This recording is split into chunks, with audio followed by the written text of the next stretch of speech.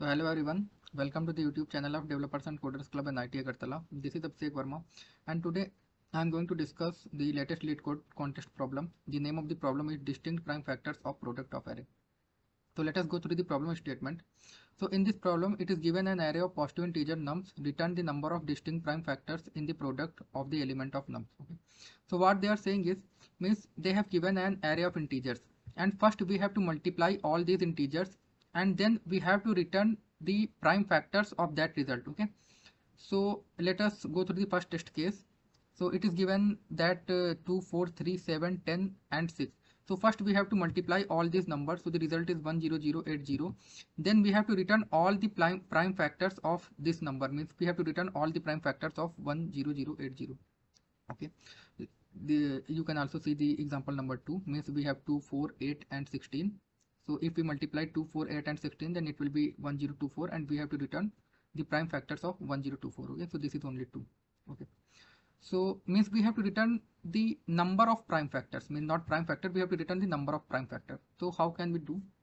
So the prerequisite for this problem is you have to know little bit about prime factors prime numbers and uh, a little bit about sieve and that's enough to understand this problem okay so as you see means either we can multiply all these numbers and then find the prime factors or we can find the uh, or we can find the prime factors individually and take only the distinct prime factors. Okay means what i'm saying let's i can explain. Means let us suppose i have the numbers 2 5 and 6 and i have to find all the prime factors of the product of these numbers okay so if I product all of them, then it will be 5 to the 10, 6 just 60. So it will be 60. So if I if if I want to find all the prime factors of 60, so it will be 2, 3 and 5. Okay, means I can just find it manually, not any algorithm. So it will be 2, 3 and 5. So now if I can find all the prime factors individually, so the prime factors of 2 are 2, the prime factors of 4 5 is 5 and for 6 it will be 2 and 3 so it will be 2 and 3 miss it's not 23 it is 2 and 3 okay?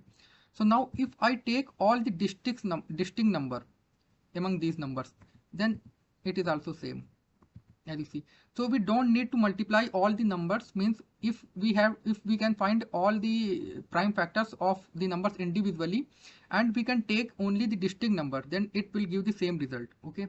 Why? Because because if we multiply all these numbers okay then as you see it doesn't matter. Means 60 can be written as 2 into 2 into 3 means 60 can be written as okay so what I'm doing is I'm just pre-computing the prime numbers up to 1000. So why only 1000? So let us see from the question. Means it is given in the question that the range of numbers is between 2 to 1000. So that's why I'm pre-computing the prime numbers up to 1000. Okay. So I can do it with the help of sieve means I'm making a sieve and I can store all the prime numbers up to 1000 in a vector named prime num. So I can pass the, I can call the sieve function and pass the prime num vector with uh, via reference so that whatever changes I can do in this function that all changes reflect in the vector also in the main vector also okay.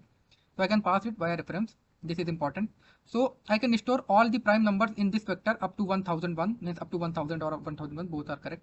So after that I'm just traversing through the main array mean that is given to us nums array and finding all the prime uh, finding all the prime factors of numbers one by one. So how can i do this? So how can i do this? Let me explain you. Okay. So let us suppose let us suppose i have a number 24 and i want to find all the prime factor of this number.